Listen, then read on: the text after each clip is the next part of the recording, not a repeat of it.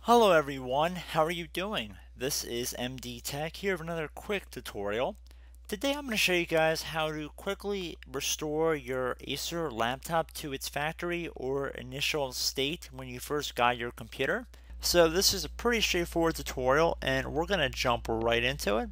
So let's say you have a very cluttered computer and it's acting very slow and you've already backed up all of your important files, documents, pictures, and whatnot.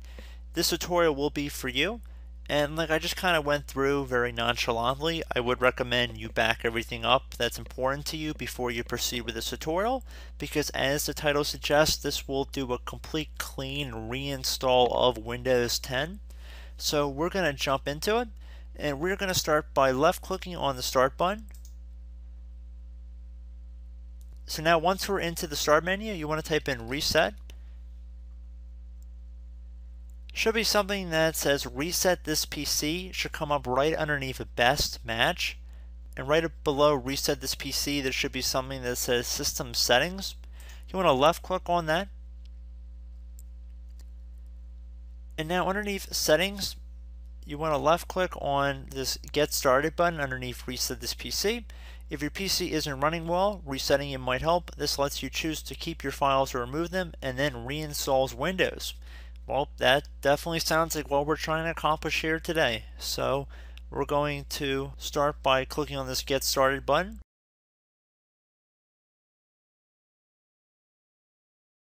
Now we have two options here, keep your files or remove everything. We're going to select remove everything because we've already determined that is what we want to do.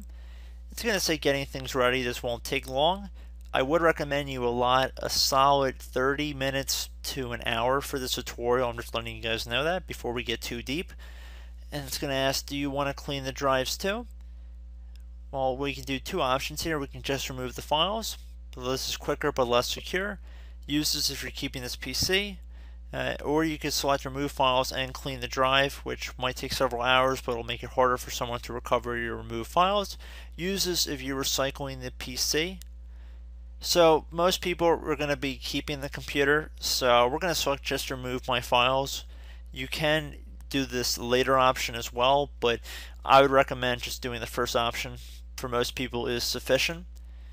So again, it's very kind of misleading. It says this won't take long, but it will take a little bit of time, this whole process, so just be patient. And it should say ready to reset this PC. Resetting will remove all the personal files and user accounts on this PC, any apps and programs that did not come with this PC, and any changes made to settings. This will take a while and your PC will restart. At this point, click on this restart button. It's going to say getting a few things ready. It is going to take a little bit of time. I don't believe there's really any user interaction that has to take place right now. So we're going to just let this run and I'm going to keep the video recording just so you guys get a picture for how long this process will take.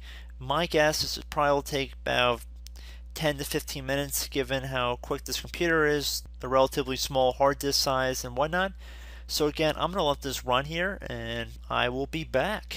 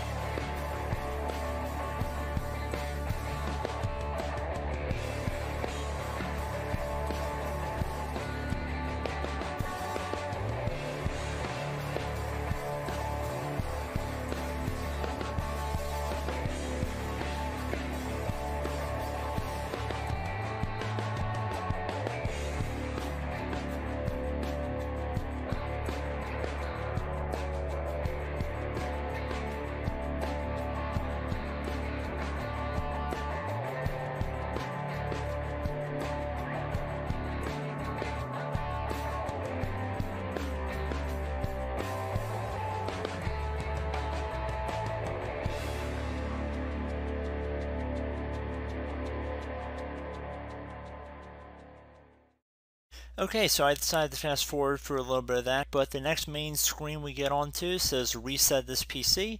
Your PC has been reset, but we couldn't remove all your personal files. If you plan on giving away or recycling this PC, try resetting it again. Click Got It.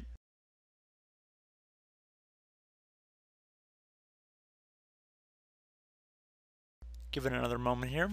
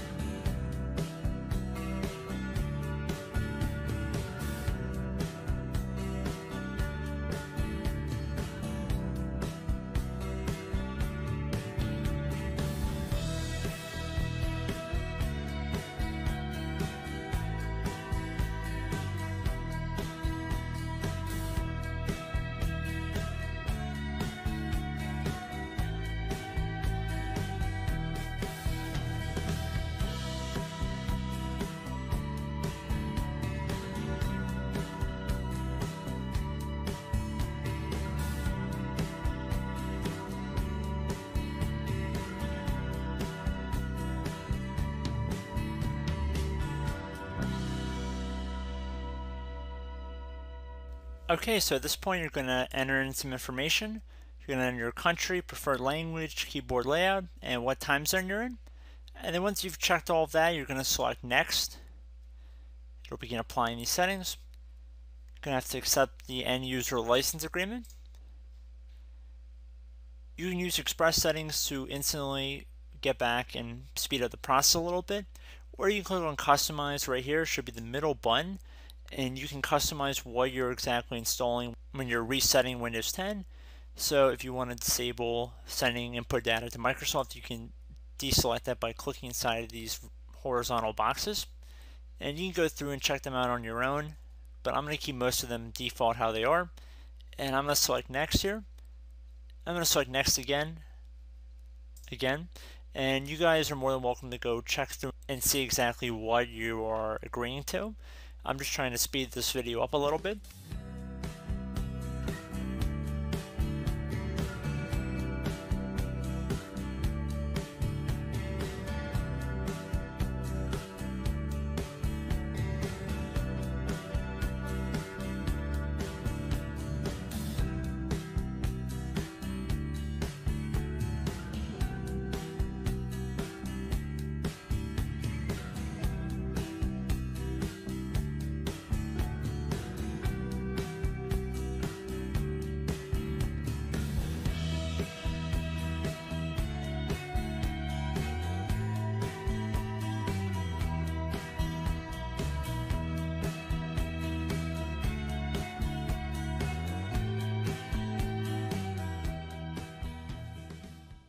Okay, so at this point you have the option to enter in your Microsoft account credentials if you were previously using a Microsoft account to use your account.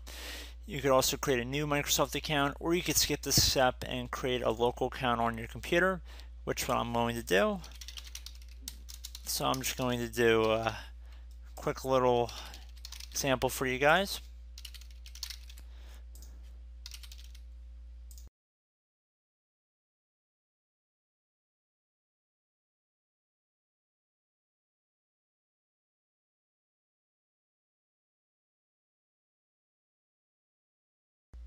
I am not going to enable Cortana, so I'm going to select not now.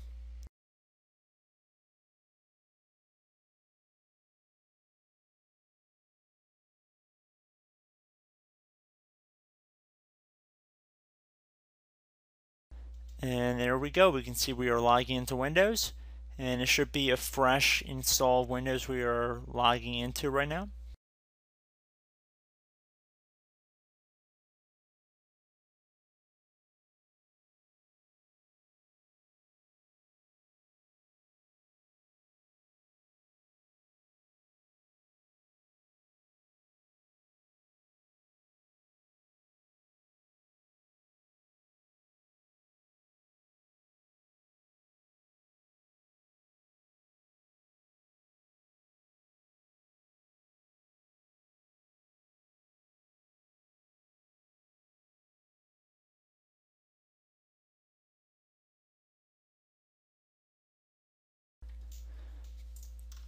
Okay, so we actually have an update waiting, but I'm not going to select that, so I'm going to do not now, bottom left, and we can see that we have a fresh install of Windows 10 on this computer. Please keep in mind this will take some time to do this whole process, but I do hope the end result is what you're looking for. And again, I appreciate you guys watching this tutorial. I hope I helped you out. And as always, thanks for watching, and I will catch you in the next tutorial.